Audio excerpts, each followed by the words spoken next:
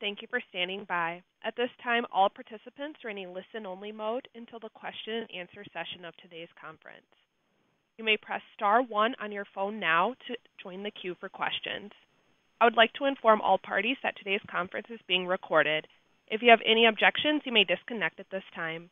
I would now like to turn the conference over to Michael Cook. Thank you. You may begin.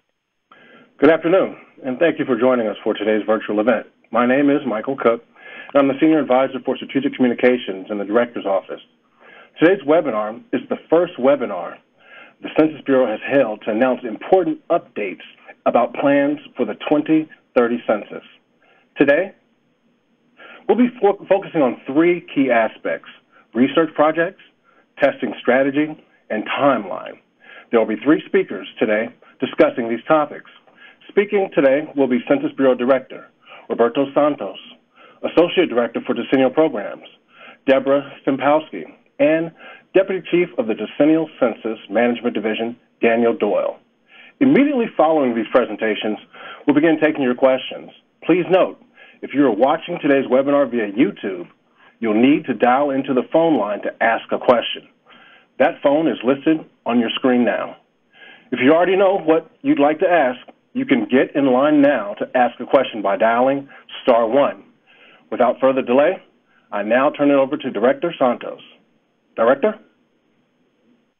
Well, thank you very much. And good afternoon, everyone. Thank you so much for joining us for an update on our planning of the 2030 census. Yes, the road is long. We're still early in our trek towards the launch date to the next decennial census. There's still much research, testing, and learning that lie ahead. We recognize it's important for you to be kept apprised of where we are in our preparations. That's why we're having this seminar. Uh, it's just the first of many communications about our preparations for the 2030 census that will be coming your way. We're committed to openness and transparency, and we need your feedback. In fact, last year, we asked for the public's ideas on planning and designing the 2030 census. It was the first time we asked for public input on the design phase of a census, and the response was tremendous. We thank our colleagues, partners, and friends who responded on behalf of your communities. The deep thought and effort that went into your comments was evident. Now, we very much need for you to stay engaged. Planning effort necessarily requires continuous research, design, and testing across the decade. And these efforts are enhanced when we work together towards a complete and accurate census. This is deeply important work. It's a labor of love. And I can't thank you enough for joining and helping us write the story of our next census. It's a story of partnership, a story of respect, and deep commitment to excellence. We appreciate your support and your enthusiasm. Now, let's get to the details on the work that's underway. Uh, I'll turn it over to Dan Doyle, Deputy Chief of the Decennial Census Management Division, who will take the reins. Dan?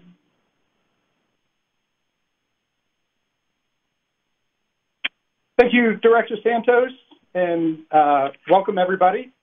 Before I jump into today's presentation, I first want to recap for you information that we've already shared as context for today's webinar. You can find all this information on our website at www.census.gov forward slash 2030 census. We have already shared that we are currently in the design selection phase. And we've also shared that our approach to designing the 2030 census is based on enhancing the 2020 census design. And we have shared with you the input received from stakeholders through the Federal Register notice on the 2030 census research. Finally, we have outlined the five enhancement areas or focus areas that guide our 2030 census research.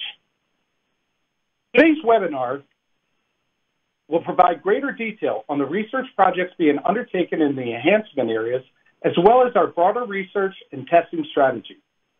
We will also present a more detailed planning timeline and highlight how our research and testing fit into the broader planning strategy. Now let's dive into the 2030 Census research products.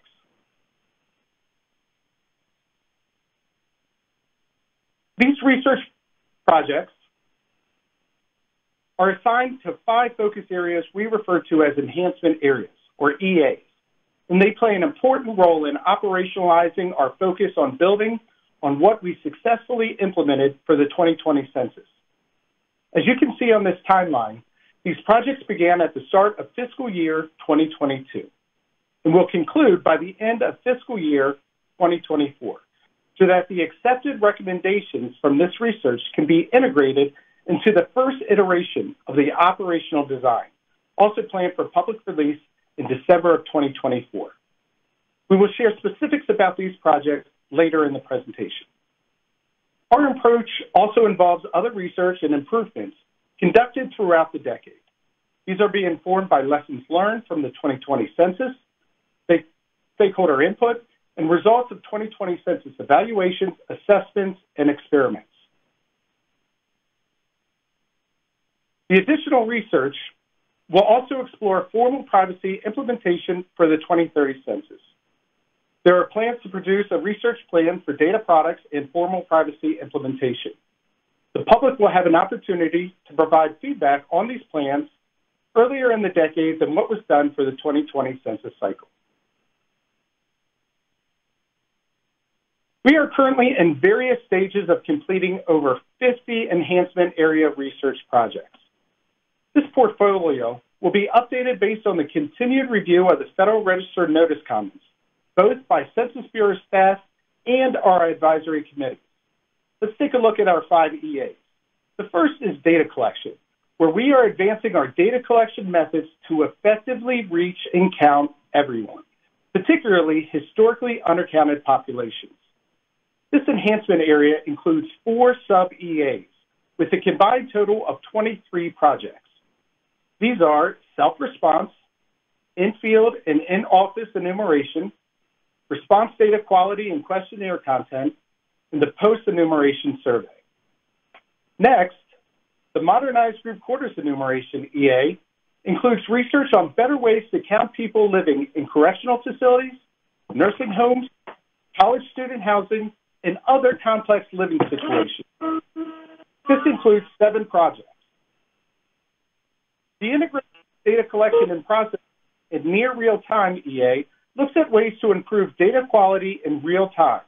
This EA has 11 projects.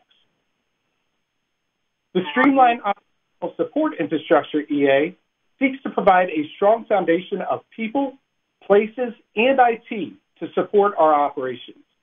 There are six projects in this EA. Finally, the six projects in the continuous data collection and aggregation EA cover research into how we can leverage existing data sources and seek new ones for use in the 2030 census, while also capitalizing on the Census Bureau's own transformation. You can learn more about these EAs and specific projects through our 2030 Census Research Explorer tool by visiting www census.gov forward slash 2030 hyphen census hyphen research hyphen explorer. This tool provides a summary of each enhancement area and a description of all the projects along with their research topics and questions. It also shows you how to search by keywords or filter by an enhancement area. Now let's walk through the Explore tool and share three projects as examples of the range of enhancements we're researching. We encourage you to check out the tool to learn more about all the projects underway. The three examples I'll be sharing today relate to group quarters enumeration, administrative records, and the communications campaign. The first project I'll highlight is part of the enhancement area, Modernizing Group Quarters Enumeration, and it's titled Creating an Internet Self-Response Option for Non-Institutional Group Quarters. You can find this project on our Explorer tool in two easy ways.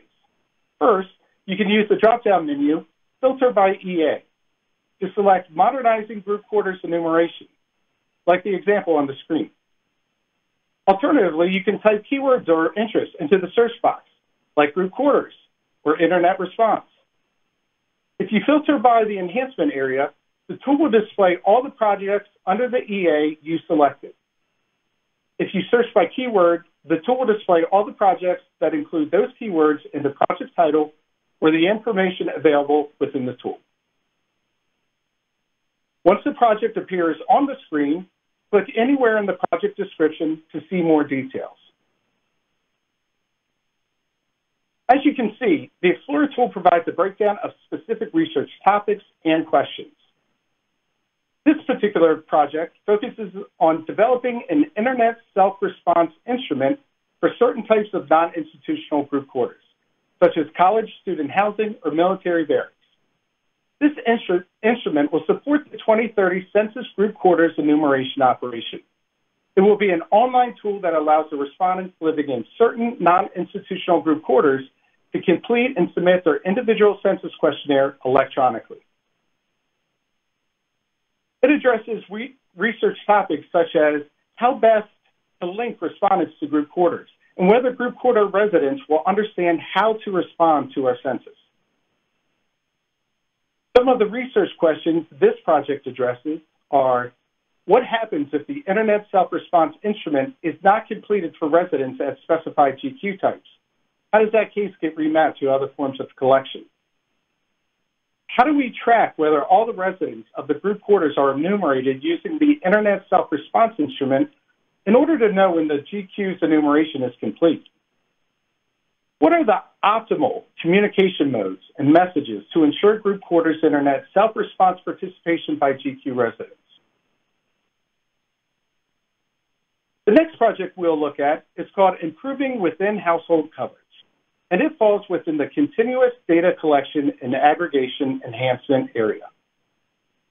This project will explore methods for using administrative data to either add people into households where the census response omitted the person or remove people from households where the census response inappropriately included them. This project seeks to determine the accuracy of these added people and removed people by means of a follow-up interview during one of our several tasks. This project covers research topics such as demonstrating the use of administrative data to reduce under and overcount, and improving household coverage using administrative data. Some of the research questions this project explores are which administrative data are appropriate for reducing under and overcounts, and what rules or models should be used to add people to censuses responses, to delete people, or move them to a different address.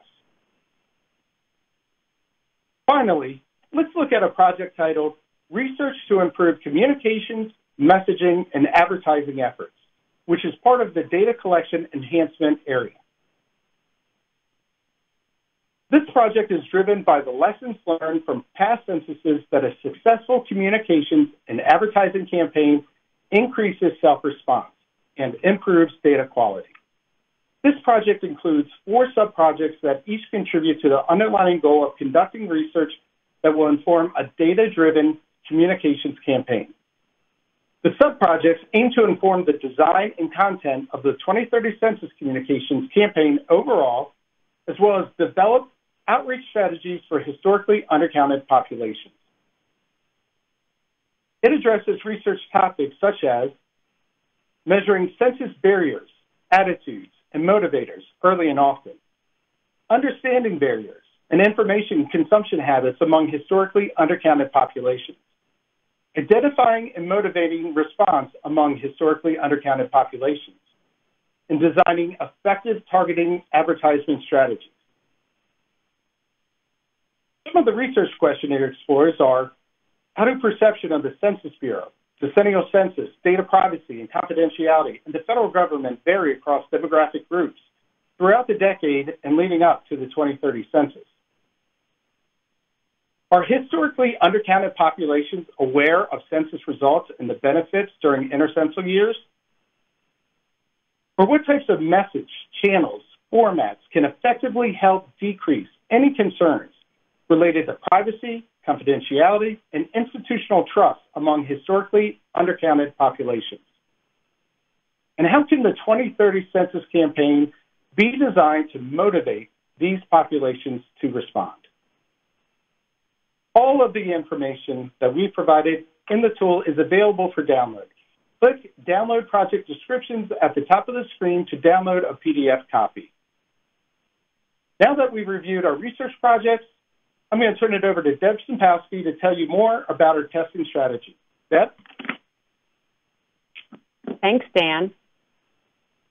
In 2020, the Census Bureau conducted the most automated, modern, and dynamic decennial census in our nation's history. This included design changes that made it as easy and efficient as possible for people to respond to the census. We offered response options through the internet and by telephone, in addition to the traditional paper response. This also allowed people to respond to the census from any location at any time.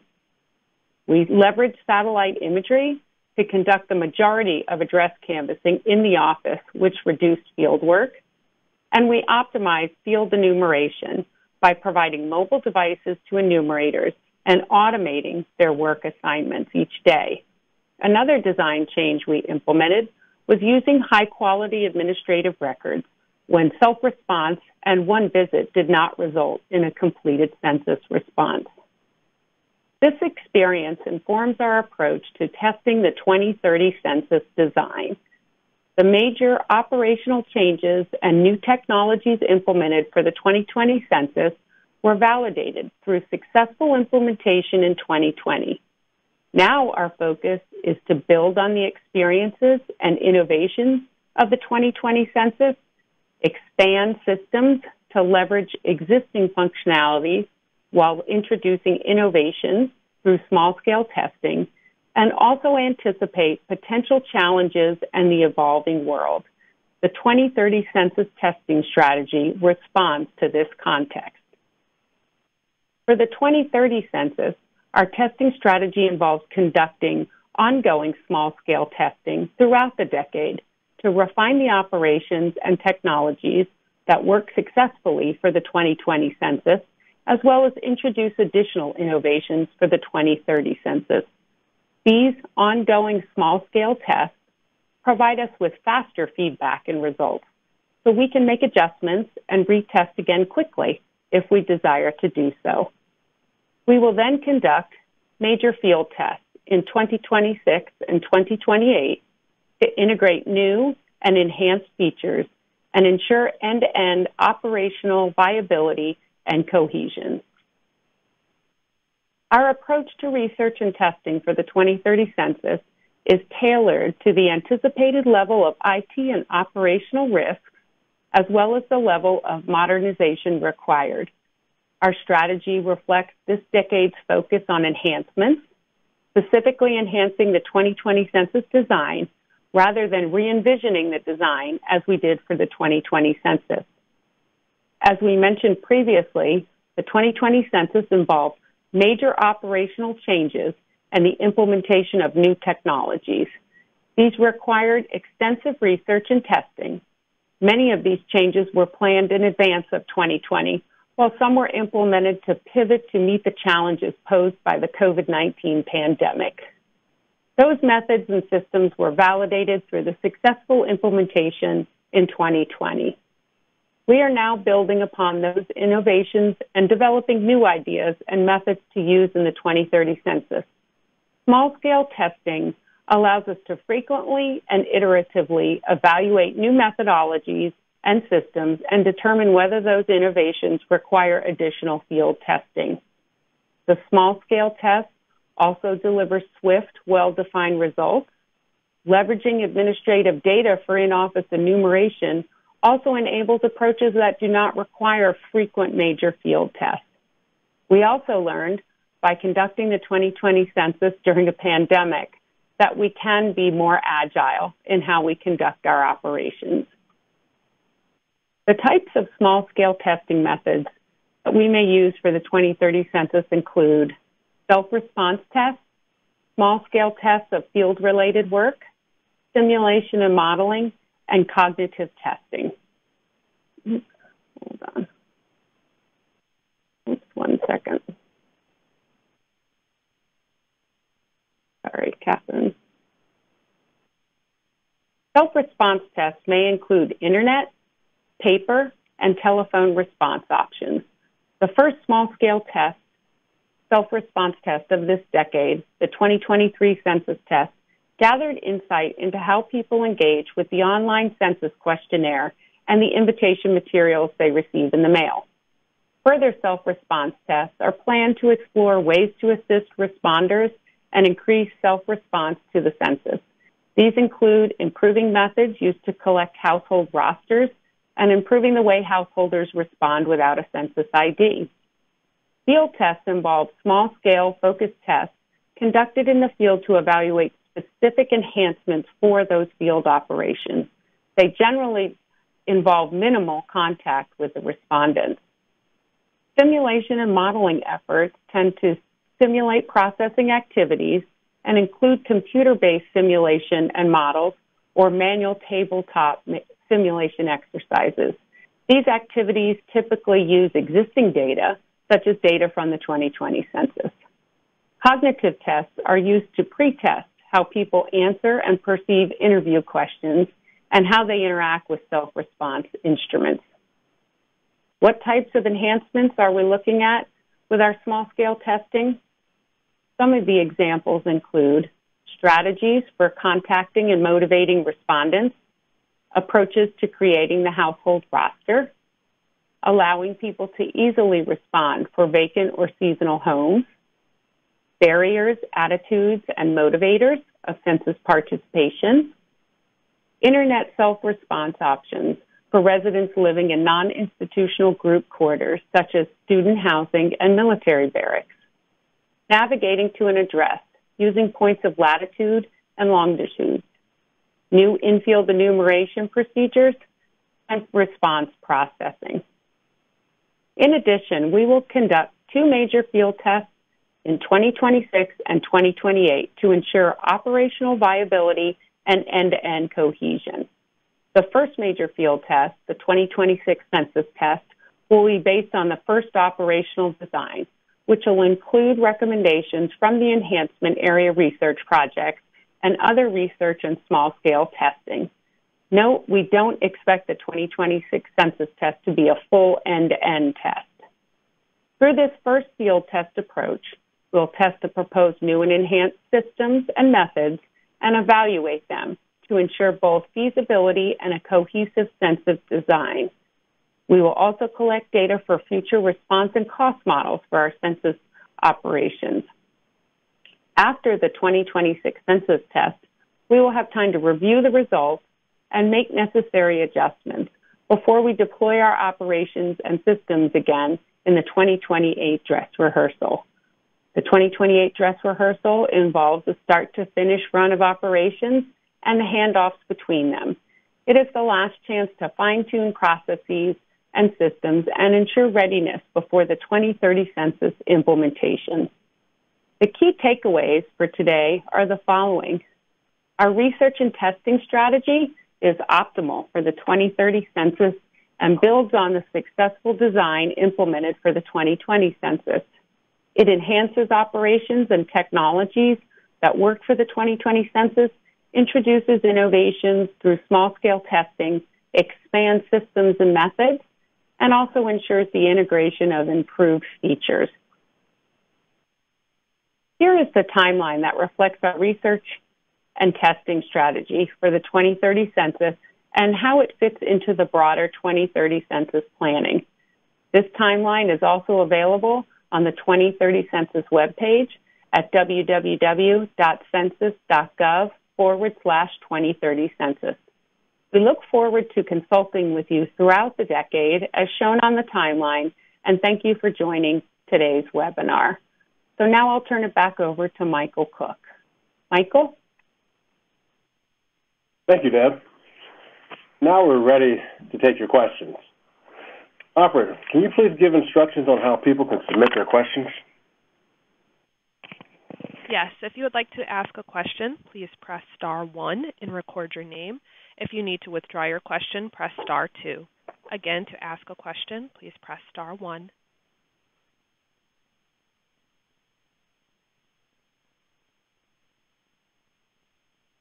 Our first question comes from Hansi Lo Wang from NPR. Hi, Hansi.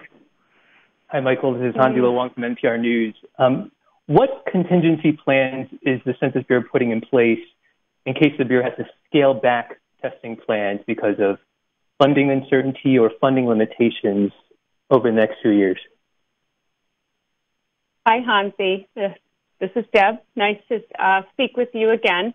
I think actually uh, the change in testing strategy for the decade uh, provides us the contingency plan in our regular plan, if you will. Based on all of the small scale testing that we're doing, uh, we're able to learn very quickly uh, and adjust and improve operations uh, without counting on those big field tests to give us that information. So by doing the testing continuously throughout the decade, uh, we're giving ourselves a lot of learning opportunities should we have to make any adjustments uh, to the tests in 2026 and 2028. Thank you. If I can ask as a follow-up question, does the Bureau have a research and testing strategy to specifically address the persistent overcounting of the non-Hispanic white population? If not, why? Uh, I, let me answer that more broadly. Uh, so our research agenda is robust in trying to target all aspects of either undercount or overcount. So we've tried to do a thorough job in investigating all aspects, and I, I think that's one of the big benefits of having the Federal Register notice uh, solicit input from everyone to make sure that we've thought about everything, uh, considered ideas that maybe wouldn't have been uh, at first mind for us. So we have done a comprehensive review and we're going to implement those ideas in the research agenda to make sure uh, we can dive into that both overcounting and undercounting to understand and improve going towards 2030. Thanks for that, Deb. Operator, we're ready for our next caller. Our next question comes from Mike Schneider from Associated Press. Hi, Mike. Hi. Hi, how are you all? Um, I guess uh, if, whoever wants to answer this question, I, was wondering um, what research is taking place on the role artificial intelligence will play uh, in the 2030 census, and then I guess the same question for climate change. You know, as far as sending census takers out uh, to knock on doors in Phoenix in the summer of 2030. Mm-hmm. So let's start with artificial intelligence. Mike, nice to talk to you again. Uh, that's something that's right, very much emerging and a new technology that we believe will have benefit to the census, but we're in our early stages of research. So what I commit to now is as we develop our research plans around that, we'll share uh, our learnings and our ideas so we're being transparent with where we might use that.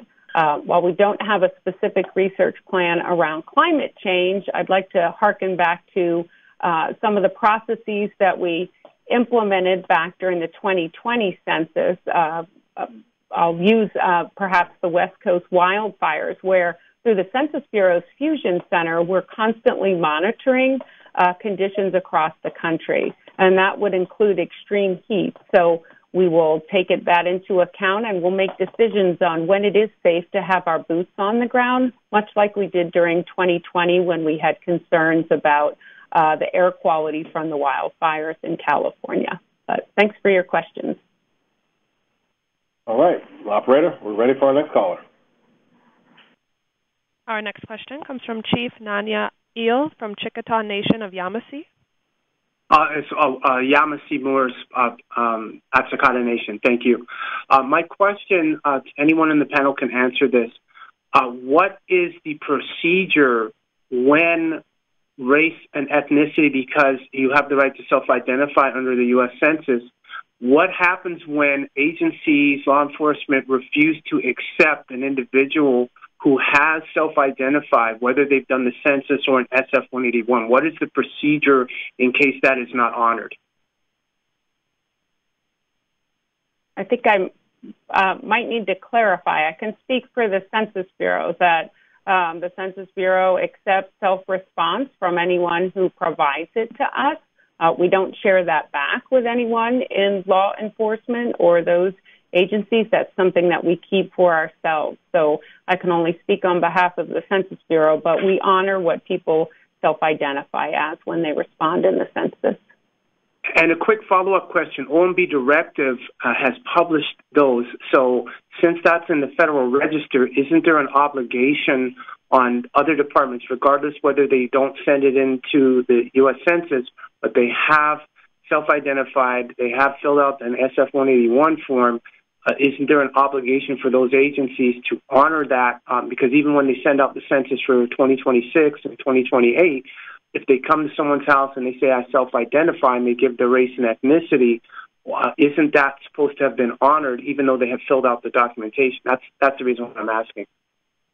Right, and, but I think you're asking, if I'm uh, hearing you correctly, about forms that other agencies are using, and I really can't speak on their behalf. I can just commit to you that the Census Bureau will implement the updated race and ethnicity standards uh, when they are when they're recommended from OMB, and we will honor people's self-identification of their race and ethnicity when we implement. Okay, so would they have to send that into if they did it with a different agency? They still have to notify U.S. Census. Is that what you're saying? Yes, the Census Bureau collects our own data. If we are doing any kind of administrative record sharing. We would be, if it's an agency we share records with, we would be able to receive that information, but we will always count uh, somebody's self response and honor that when you respond in the census. Thank you. Thank you. Thanks for that. Operator, we'll take our next caller. Our next question comes from Allison Plyer from the Data Center. Hi, can y'all hear me? Hey, can y'all hear me? Good. Can, loud and clear. Mm-hmm. Good. Great to see you all again. I have two questions. One is super easy, and you might have said it. Um, I saw on the timeline that you're looking to receive feedback on this excellent 2030 plan. And is there is that going to be through an FRN, or um, if you can um, let us know about that, which maybe you were planning to anyway. Maybe I'm jumping the gun.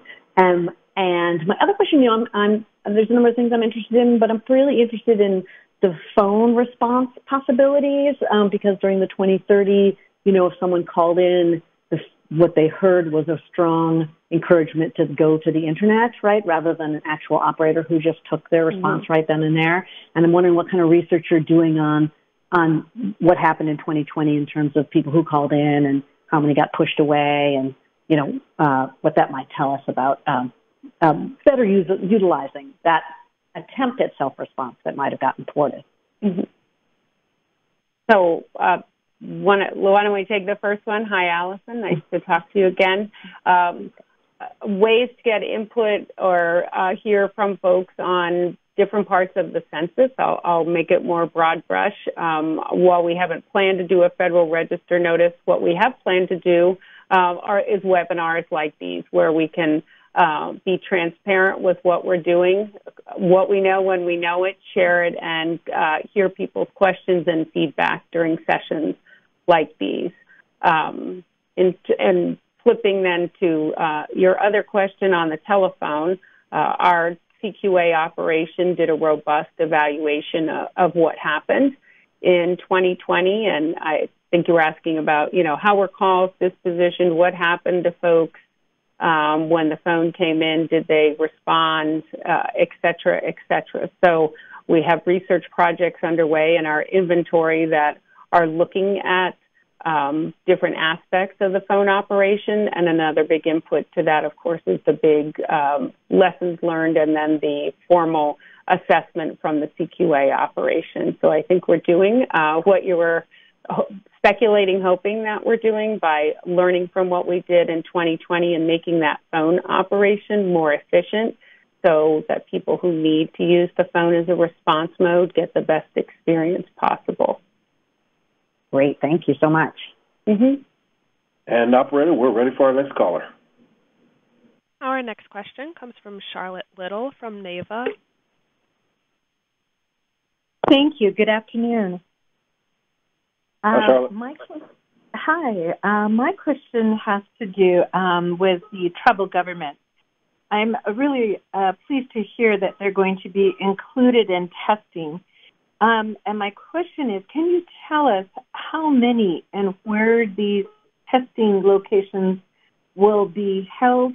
And uh, the reason I ask it in that fashion is because uh, in tribal communities, their geographic locations uh, may affect what is possible, whether they have internet access.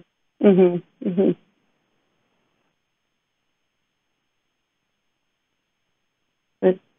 Did we lose her? Are you still there, Charlotte?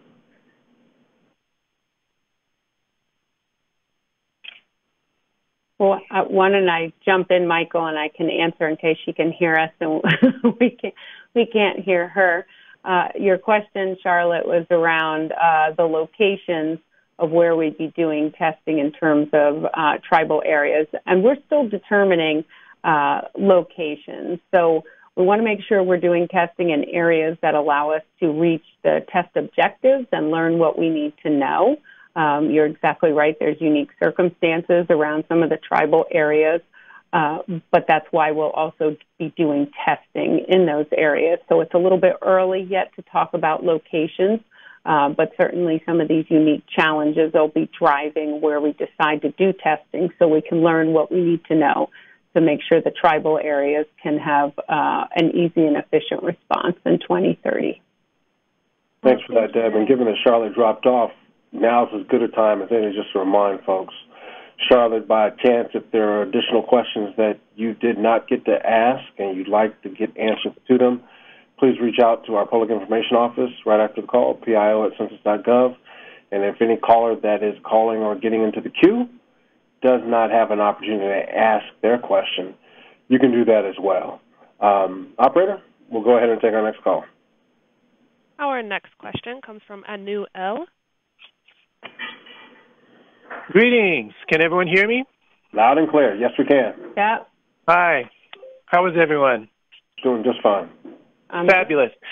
okay, I'm I'm reading up that the Census Bureau's mission is to serve um, as the nation's leading provider of quality data about its people and economy.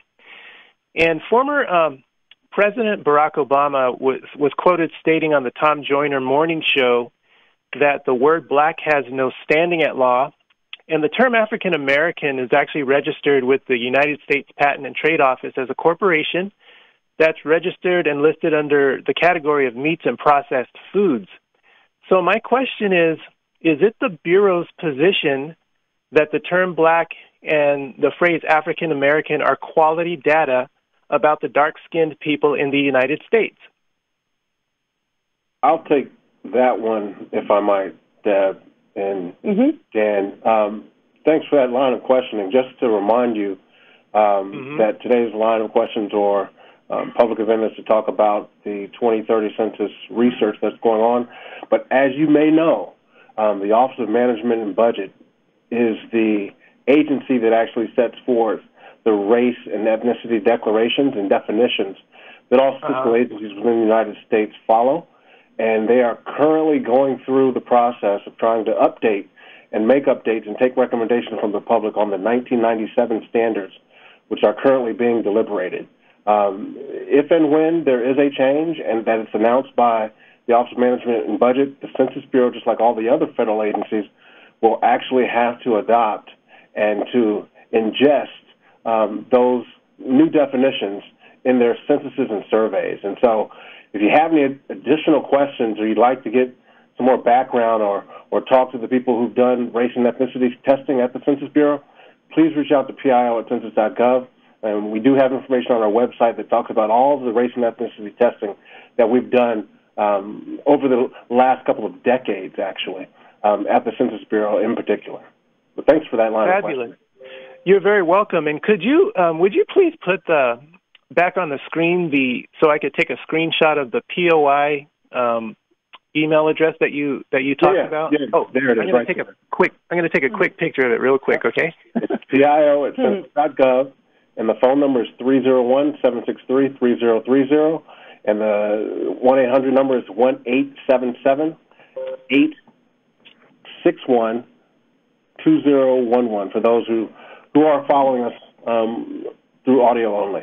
But thanks for that. All right. Thank you so much for your time and your courtesy. You're welcome. Operator, Bye-bye. we'll take our next caller. Our next question comes from Raina Canelli. Hi, Raina. Hi, um, I'm from Sierra Leone, and my question was about the group quarter count of H2A agricultural workers and making sure that farms actually count those workers.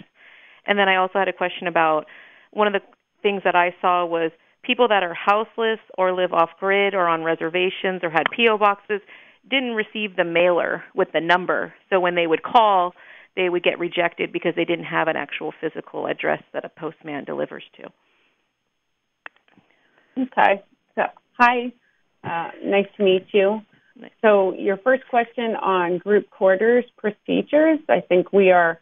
Uh, we actually have a whole enhancement area around group quarters, so we're looking at how we can better and more effectively do that. Part of that actually includes the definitions of group quarters, and uh, that inherently involves who you should count in there. So, big part of our research agenda focused on group quarters. Uh, so, I think um, improvements will be made on that front. And your second question, ah, can you remind me what your second question was? Is that people words? that don't have a physical people, address, if that's you're right. houseless yeah. or off grid, you were getting rejected off the phone line. Right, um, which the, um, I was not aware that was happening. So when you were uh, don't have a mailable address uh, in the census, we usually come visit you. And when you say on reservations, we uh, do in person drop off of forms uh, instead of using the mail. So, one thing that we did during COVID that I think is an innovation we want to bring forward, we actually used um, something called the uh, Every Door Direct Mailer, where we started using mailboxes, which isn't our traditional way that we do things, but we found we were able to get folks uh, through that way. So we have a project within our uh, research where we're going to look at how we can use that better. So we're trying to expand the ways that we connect with people, especially when they don't have mailable addresses, to ensure that they can respond. So thanks for your questions. Thank you. And operator, we're ready for our next caller. Our next caller comes from Afriti Mahat Amun. Hi Greetings. Greetings. Uh, Saferti Maasamun Re'el. I'm a member of the Atsikata Nation of the Yamasee Moors. Greetings. How, how is everyone? We're doing just well. fine. That's one. Uh, my question uh, kind of sparked in light of uh, you talking about, or the questions coming in about the OMB and the SF 181. And my question uh, and concern is will the uh, census moving forward focus on the concerns of the original peoples of Turtle Island. As it describes in the OMB, it says the original peoples, original peoples, but when it gets to black, it says racial groups. So then when it gets to white, it says the original peoples of the Middle East, Europe, and um, North Africa. Maybe not in that order, forgive me for that. But my concern is uh, with the Negro Act of 1740 and the Negro Act of 1724, where the genocide was done on the indigenous people, the Americans of Turtle Island. Will the census focus on that as they correct the wrongs of misidentifying the original peoples of this of this land? Just a quick reminder: um, the um, as stated earlier, the Census Bureau we follow the directives of self-identification and the and race and ethnicity standards that are set forth by the Office of Management and Budget. I forgot to mention or overlooked mentioning earlier. There's a website. It's spd15revision.org. spd15revision.org. On that website, you will see and be able to have access to um, the process that the interagency, working group has been going through over at OMB um, to make updates to the 1997 standards of race and ethnicity. The Census Bureau, as Deb noted earlier um, to a previous caller, um, we actually, when it comes to the census, we ask people to self-identify their race and ethnicity, and the questions that are on the census are set forth by the standards that are declared by the Office of Management and Budget. So I appreciate your line of question, but um, I know that the SMEs that are here today, um, this is not their forte, and the Office of Management and Budget is really the the state the agency that that needs to address that line of questioning. But so I encourage you to reach out to them or to check that website for more information. Thank you, operator. In, in honor of my answer, thank you for your answer. You're very welcome. Thank you, sir. Operator, um, is there? Do we have another caller, or do we have another caller in the queue? As a reminder, please press star one if you would like to join the queue. As we wait for questions to come in, I want to um, highlight a few resources for today's re- release, if I can. Um, they can all be found on census.gov, including the slide deck from today's presentation. You should be able to find links to these resources on our homepage on census.gov. Um, so just a reminder that census.gov is your lifeline if you are looking for access to the slides that you saw today. And also, um, once the presentation is complete, um, we'll obviously post it on our website as we've done in the past for you to, to watch it in, in the future, near future. Operator, do we have our next question?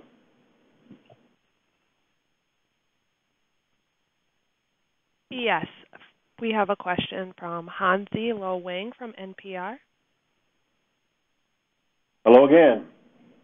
Hi again. If no one else has other questions, I wanted to ask is the intention that these 20, 2030 census webinars, the series, going to essentially replace what was the program management reviews for the 2020 census, or will there be, in addition to these webinars, quarterly, more comprehensive quarterly program management reviews for the 2030 census? So I hi again. Um, I think what we're trying right now is to take advantage of new ways to communicate, uh, and this is uh, uh, an easy way for us to reach a lot of people quickly. So. Um, we'd like to see what else we can do based on our learnings and how all we've uh, gotten used to being online and making that convenient for folks. So right now, our plan moving ahead, at least in the short term, is to do uh, regular webinars so we can get information out quickly to folks. And is there a plan to? I think one thing the PMRs I understand used to be in person, but in addition to that, they also uh, touched on you know schedules and budgets and strategies on a wide range of mm-hmm. aspects of the decennial. Um, seems like the webinars are going to be very you know one or two topic focused. Is there going to be a, a public check in about various aspects of the decennial before uh, 2030?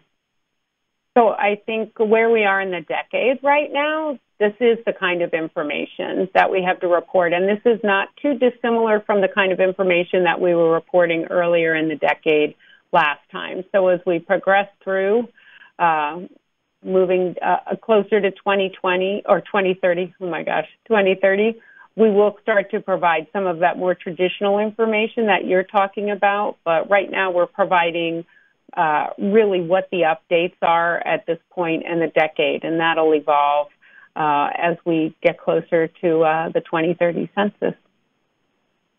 Thank you. And if I might take liberties, Deb, don't know if I'm overstepping here, just to remind Hansi and others um, who um, followed us closely leading up to the 2020 census, the uh, PMRs the primary purpose from our standpoint um, was an update um, and giving a briefing to GAO and IG, um, as well as some of our um, appropriators. So I know that you know Hansi, you and other media who actually showed up were there to to watch that process go forward, um, and so that's why some of the content that you're hearing today isn't as direct and um, talking about you know timetables and budgets and things of that nature. So just to to point that out, that that delineation mm-hmm. for you, if I could.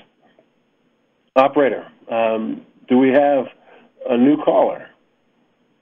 Yes, our next question comes from Andrew Swinson from Indianapolis MOP or MPO. Yeah. Hello, Andrew. Hi there, folks. Um, the MPO is a transportation planning organization. I don't know if you're familiar with the term. Uh, we've been responsible for managing the census geography programs, uh, updates of census tract and block boundaries, and we're also very interested in the urbanized area boundary, which governs um, what our boundary is as an MPO, what we're responsible for federal transportation planning money. So I have two questions. One is um, to understand what the re- what the release schedule is. It looks like you have a pretty aggressive uh, census program development this time around, and I'm wondering if there's something similar on the geography side, and if you'll be using this this particular avenue for uh, uh, for providing that information as to what the geography programs are going to be doing. And I guess the other question I had is is whether or not uh, what's concerned us is the impact of disclosure on the actual geographic boundaries themselves, and that is the very important privacy protections that are being put in place. Um, I'm wondering what kind of research. I know there's research going on. I just don't know if this is the appropriate place to talk about that research. Mm-hmm. About the impact of that on actual geographic boundary definitions. A lot of our boundaries were based on older things. They're not may not have enough population to support proper disclosure or useful disclosure. So I was wondering if there might be a at some point a research into developing a new approach to doing tracts and block group boundaries uh, that that couple with the new disclosure policies. Mm-hmm. So those are just the two questions that we have uh, that I have. Well, I'll take the the disclosure question to start, and um, just let you know, we're still working on the release for the 2020 census products. Uh, so that's really the focus of uh, the staff right now. Once we finish the 2020 data products, that's when we're going to shift the focus to the 2030 research for disclosure, and then we should have uh, uh, more information at that time. Okay, that's really good. And so, yeah, just yeah. to build on, I give you a little bit on the geography, but we don't have our uh, geography SMEs on this call. Um, our geography division has an aggressive agenda, which is going to take advantage of increasingly high quality and more available aerial uh, geospatial imagery uh, to make sure we have the the most up to date and uh, nimble frame in the world, in at least in the United States. But I think you know, details on their aggressive research agenda, uh, et cetera, is a little bit out of the scope of this webinar, but I'd also turn your attention to the Census Bureau's FRAMES program, which is part of the transformation, and the geography frame is uh, nestled under that. I know you can get to it from census.gov. I don't have the um, the detailed backslash right off top mind, but as part of the transformation and the frames, we are certainly pushing um, our geography frame to be best in class and adopt new new methods uh, to keep it current and and modern for our use and uh, probably your use too. It sounds like. Yeah, so thanks for the good. questions. Well, thank you very much for the answers. Appreciate it. And thanks for that. And I'm getting word that that was our last caller um, for today's webinar. So I'd like to um, thank everyone for joining us uh, for today's presentation. And also, I'd like um, to um, let and remind everyone that additional questions that might come up after today's webinar, again, you can please contact the Public Information Office at 301 763 3030 or email us at pio at census.gov. That's pio at census.gov. Or if you have more general questions, please contact our customer service center. And a reminder, you can find all the resources for today's release in our 2030 Census Press Kit in our newsroom. I'd like to thank today's presenters, uh, Daniel Doyle, Deb Stemprowski, Stempowski, excuse me, and our director, Robert Santos. And I just remembered, I believe I gave out the wrong um, email address earlier for uh, OMB. That is not a .org website; it's a .gov. So it's SPD15revision.gov. SPD15revision.gov. For those who called in and wanted information um, about OMB's interagency working group and how they are going uh, through the process of updating the, uh, uh the 1997 standards, taking feedback from the public. Again, this has been Michael Cook, and I'll thank everybody for joining us. Have a great rest of your day. Thanks, everyone. That concludes today's conference. Thank you for participating. You may disconnect at this time.